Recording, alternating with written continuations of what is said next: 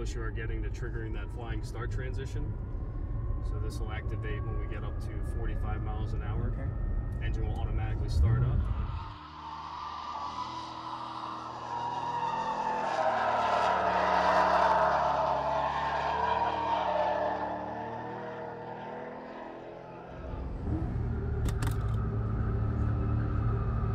So I'm sure it's going to drive like a bat out of hell, as well as have you know a full EV mode and a few other things that are that are a neat trick.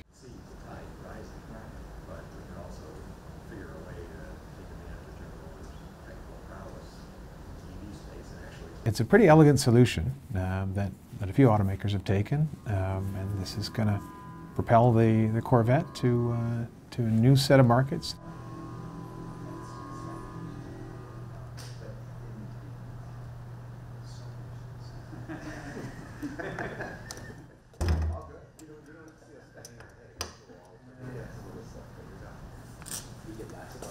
Corvette has never meant um, anachronism or sticking to the past. Corvette has been the best of what General Motors can do in a sports car.